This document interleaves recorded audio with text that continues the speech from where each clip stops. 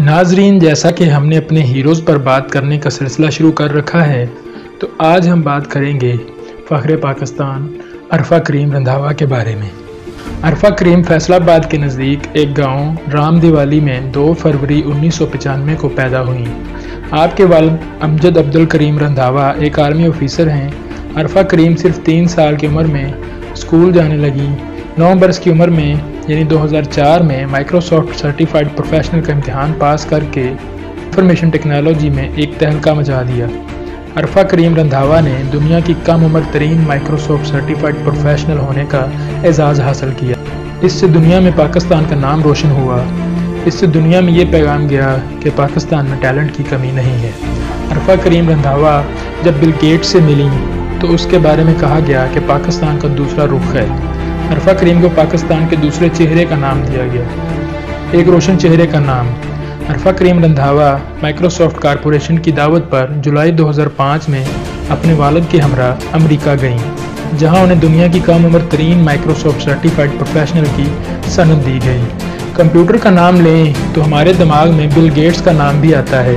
Bill Gates का ये कारनामा है कि उन्होंने कंप्यूटर टेक्नोलॉजी को वसत दी, आसान बनाया, आम अफराद तक इसकी रसाई मुमकिन हुई।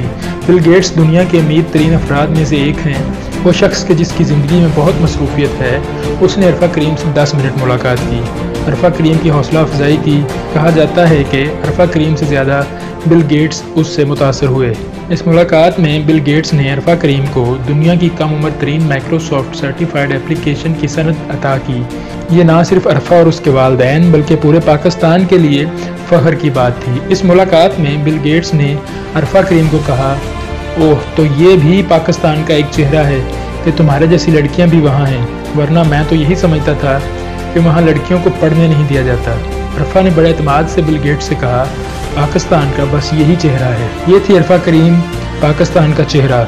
ये एक बहुत बड़ा एजाज़ था। अरफा करीम ने बिल गेट्स के साथ नाश्ता भी किया। इसके अलावा दुबई में इंफॉर्मेशन टेक्नोलॉजी माहरीन की जानब से दो हफ्तों के लिए उन्हें मदू किया गया, जहाँ उन्हें मुख्तलिफ़ तमगाजात और एजाज़ात दिए गए। अरफा करीम ने दुबई के फ्लाइंग क्लब में सिर्फ़ 10 साल की उम्र में एक त्यारा उड़ाया और त्यारा उड़ाने का सर्टिफिकेट भी हासिल किया। अरफा करीम को 2005 में उनकी सलाहितों के अतराफ़ में सदारती अवार्ड मादर मिलत जना तलाई तमगे और सलाम पाकिस्तान यूथ अवार्ड से भी नवाजा गया। सिर्फ़ 10 साल की उम्र में उन्होंने प्राइड ऑफ़ परफॉर्मेंस भी हासिल किया, जिसको हासिल करने के लिए उम्र लग जाती है। माइक्रोसॉफ्ट की बार्सलोना में मनदा सन 2006 की तकनीकी डेवलपर कॉन्फ्रेंस में पाकिस्तान में से सिर्फ़ अरफा करीम को मदू किया गया। पूरी दुनिया में पाँच हज़ार से ज़्यादा मंदोबीन में से पाकिस्तान का रोशन चेहरा सिर्फ़ अरफा करीम थी। ये पाकिस्तान के लिए बहुत बड़ा एजाज़ था। अरफा करीम मुल्क कौम का फ़ख्र थी। उसने 16 साल की उम्र में वो सब हासिल कर लिया था जो करना था। पूरी दुनिया में अपना सिक्का मनवा लिया था और पूरी दुनिया के सामने मुल्क कौम का खूब नाम रोशन किया। पाकिस्तान और अहले पाकिस्तान का सर फखर से बुलंद कर दिया था। 22 दिसंबर 2011 को अरफा करीम घर पर ही थी जब उन्हें दौरा पड़ा। उनको फौरी तौर पर सीएमएच हॉस्पिटल मुंतकिल किया गया। वहाँ उनको दिल की तकलीफ़ भी शुरू हो गई, जिसकी शिद्दत से वो कोमे में चली गईं।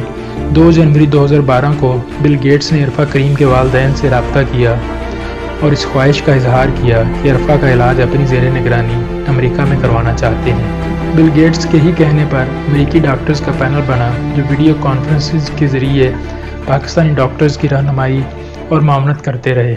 9 जनवरी 2012 को अरफा की तबीयत कुछ संभली, लेकिन आर्जी तौर पर डॉक्टर्स की रिपोर्ट के मुताबिक उसके दिमाग को शदीद नुकसान पहुँचा था। वो 2012 में 26 दिन कोमा में रहने के बाद 14 जनवरी को बरोज़ हफ़्ता लाहौर के सी एम एच अस्पताल में अल्लाह को प्यारी हो गई। जनवरी 2012 को 10 बजे शब पाकिस्तान के तमाम चैनल्स पर यह अफसोसनाक खबर नशर हो रही थी और पूरा पाकिस्तान सदमे से निढाल था। कुछ लोग मर कर भी अमर हो जाते हैं। अरफा उनमें से ही एक थी।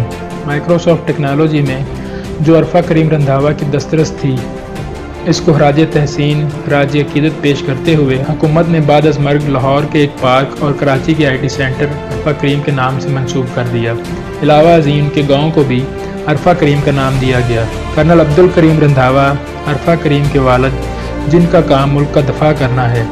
जो कि आर्मी ऑफिसर हैं, उन्होंने पाकिस्तान को एक रास्ता दिखाया कि पाकिस्तान की नज़रियाती सरहदों पर दफ़ा अरफा करीम जैसी बेटियाँ हैं, जिनसे दुनिया के सामने पाकिस्तान का रोशन चेहरा वाजिया होता है।